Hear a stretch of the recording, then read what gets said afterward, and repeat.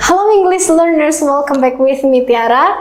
Di video kali ini kita akan bahas tentang conditional sentence. What is conditional sentence? Check it out.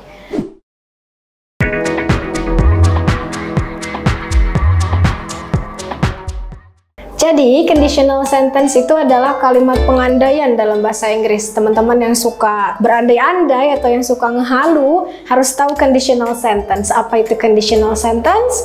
Oke, okay, let me tell you. Conditional sentence adalah kalimat untuk berandai-andai atau kalimat pengandaian dalam bahasa Inggris.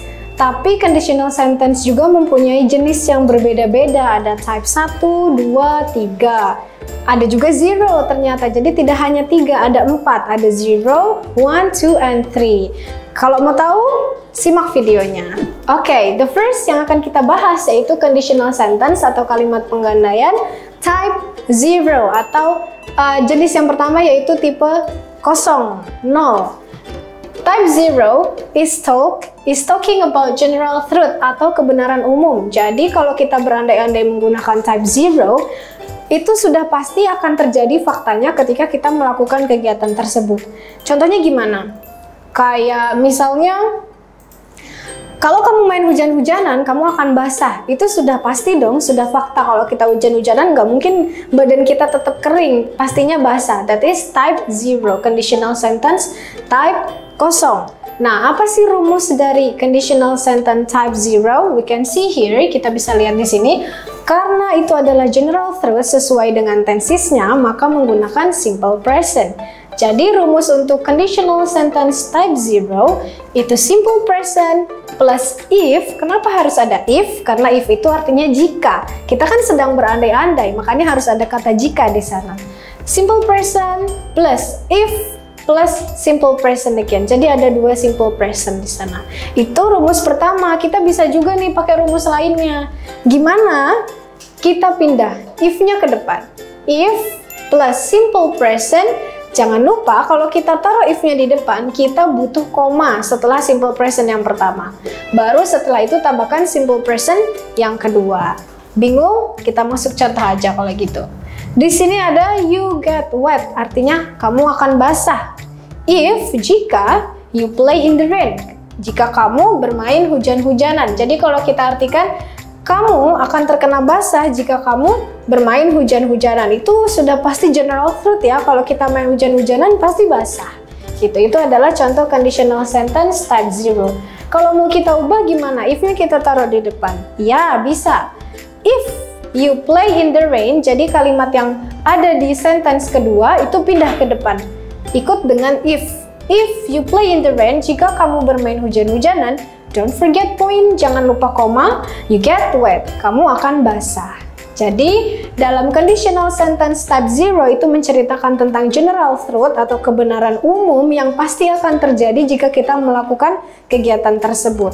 Rumusnya menggunakan simple present. Simple present plus if plus simple present. Tapi kalau kita mau taruh if-nya di depan, jangan lupa ada koma setelah simple present yang pertama. Next, kita lanjut ke tipe yang selanjutnya. Tipe yang selanjutnya yaitu conditional sentence type 1. Conditional sentence type 1 itu biasanya orang-orang bilang kata lainnya yaitu future possible. Future possible itu berarti masa depan yang masih kemungkinan terjadi. Jadi kalau kita berandai-andai menggunakan type 1 atau future possible, masih bisa kemungkinan terjadi jika syaratnya terpenuhi.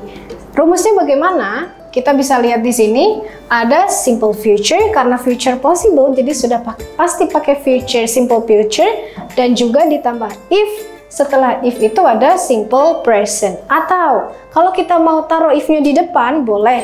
Berarti setelah if simple present-nya dulu yang ditaruh di depan. Setelah itu jangan lupa ada koma baru simple future-nya di belakang. Contohnya kayak gimana? Oke okay, I'll give you. I will around the world if I have a lot of money. Saya akan keliling dunia jika saya mempunyai banyak uang. Nah, di sini kalau kita mau keliling dunia, berarti kita harus punya banyak uang dulu. Jadi syaratnya di sana yaitu punya banyak uang. Kalau kita sudah punya banyak uang, berarti kita bisa keliling dunia. That is future possible. Masih bisa mungkin terjadi di masa yang akan datang jika syaratnya terpenuhi. Syaratnya apa? I'll have a lot of money, mempunyai uang banyak. Jadi di depan I will go around the world itu menggunakan simple future, setelah itu ada if di tengah, baru kita tambahkan simple present di belakang. I have a lot of money. Tapi bisa juga kita gunakan rumus lain yaitu if-nya kita pindah ke depan. Tapi setelah if di sana berarti simple presentnya yang kita pindah ke depan. Contoh, if I have a lot of money, koma, I will go around the world. Jadi jika saya punya banyak uang, koma, saya akan pergi mengelilingi luar negeri. Sama saja yang jadi syaratnya di sana yaitu I have a lot of money, punya banyak uang. Jadi kalau dia punya banyak uang, dia bisa keliling dunia. Simple future-nya kita taruh di belakang. Kenapa? Karena if-nya di depan. Jadi uh, type 1 atau type 1 di conditional sentence nama lainnya itu adalah Future possible. Possible itu artinya mungkin. Masa depan yang masih mungkin terjadi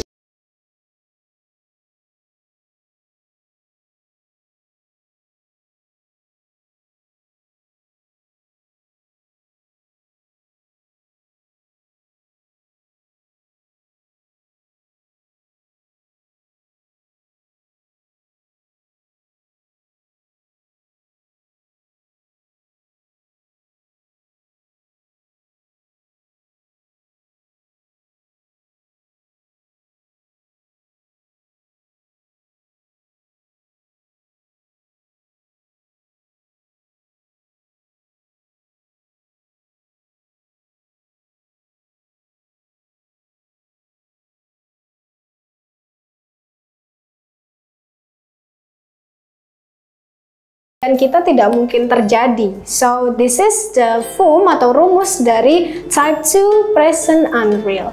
Yang pertama, kita menggunakan simple past future. Nah, teman-teman kalau nanya tenses itu kan ada 16, tapi biasanya past future itu jarang digunakan. Nah, ini jawabannya. Jadi past future itu kita gunakan di conditional sentence. Jadi rumusnya adalah simple past, simple past future atau tenses nomor 13 ditambah if jika karena pengandaian jadi harus ada if dan juga simple past. Simple past itu tenses nomor 5. Oke, okay, tapi selain itu kita juga bisa menggunakan rumus yang lain. Kalau kita mau naruh if-nya di depan misalnya boleh. Jadi setelah if itu kita taruh dulu simple past-nya. Simple past-nya kita pindah ke depan. Setelah itu jangan lupa ada koma dan baru yang terakhir ada simple past future atau tenses nomor 13 tadi. Contohnya gimana? I have a I have a example here. Saya punya contohnya di sini. Ada I would be I would be happy if I were Cinderella. Jadi saya akan bahagia jika saya menjadi Cinderella. Tapi kan itu nggak mungkin ya. So that's kita punya fakta di sana. Faktanya I'm not Cinderella. Saya sekarang ini bukan Cinderella. Jadi faktanya menggunakan simple present.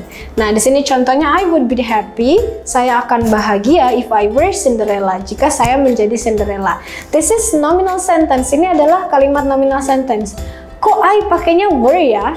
Ya, yeah, that is the point of type 2. Jadi kalau kita menggunakan conditional sentence type 2, apa pun subjeknya, mau itu I, you, we, they, ataupun she, he, it, kita tetap menggunakan were. Jadi nggak ada was di sini. Semua pakainya were.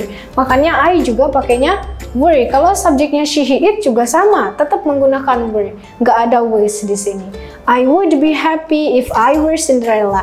The fact, faktanya menggunakan simple present, yaitu I'm not Cinderella. Atau kita ubah kalimatnya. If-nya kita pindahin ke depan. If I were Cinderella, koma, I would be happy.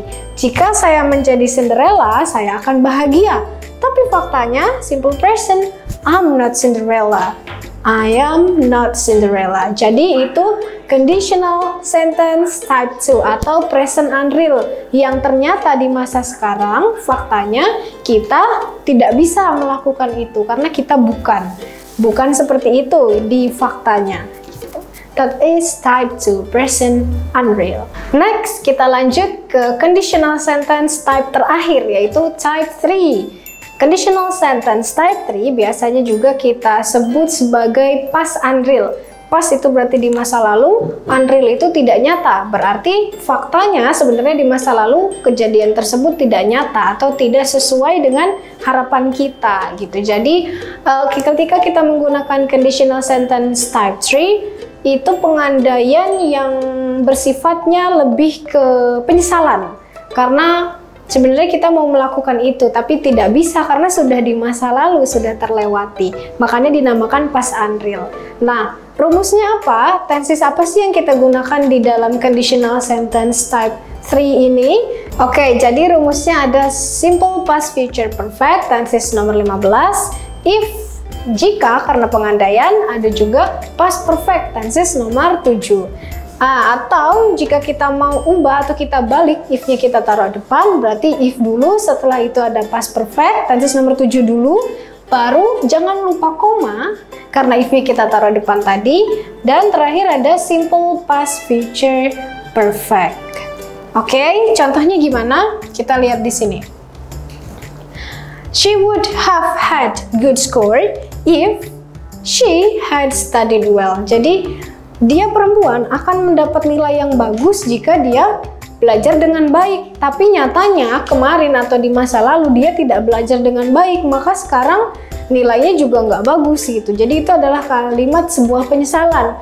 Aduh karena dia nggak belajar dengan baik, maka nilainya nggak bagus gitu. Jadi ada faktanya di sana. Fakta yang kita gunakan adalah simple past. Kenapa? Karena sudah terjadi ya di masa lalu, nggak bisa kita ulang. So that's why kita menggunakan simple past. Nah, jadi contohnya gini. I would have had good score. She would have had good score if she had studied well. Dia perempuan akan mendapat nilai yang bagus jika dia belajar dengan baik. Tapi nyatanya, in the fact, using simple past, menggunakan simple past, she didn't study well. Dia perempuan tidak belajar dengan baik. Atau kita mau ubah if-nya kita taruh depan, bisa. Contoh, if she had studied well, comma, don't forget, she would have had good score.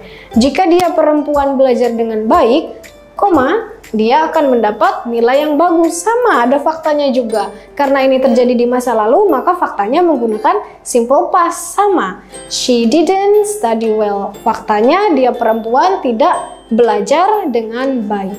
Jadi kesimpulannya conditional sentence type 3 atau past unreal, masa lalu yang tidak sesuai yaitu menggunakan tenses nomor 7 dan juga tenses nomor 15 uh, kita menggunakan fakta juga sama seperti type 2 tadi ada faktanya. Di type 2 faktanya menggunakan simple present, tapi di dalam type 3 atau di past unreal menggunakan simple past. Oke, okay, jadi kesimpulan dari conditional sentence atau kalimat pengandaian yaitu kita mengandai-andai sesuatu mau itu di masa sekarang, di masa depan, bahkan di masa lalu ya, bisa semua kita andaikan.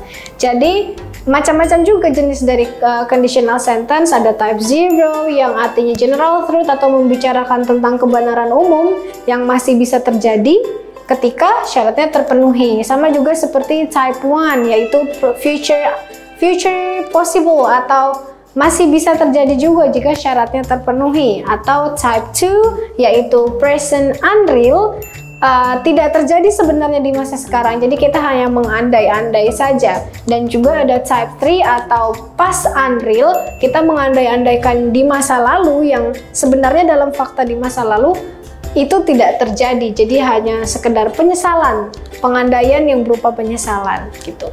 Oke, okay? so itu dia tadi tentang conditional sentence. Uh, aku punya kuis nih buat teman-teman. Coba dijawab ya. Gimana bahasa Inggrisnya jika dia perempuan seorang dokter, dia perempuan akan mengobatiku. Kira-kira pakai type 0, 1, 2, and 3 ya. Tulis jawabannya di kolom komentar. Thanks for watching and see ya tata! Kampung Inggris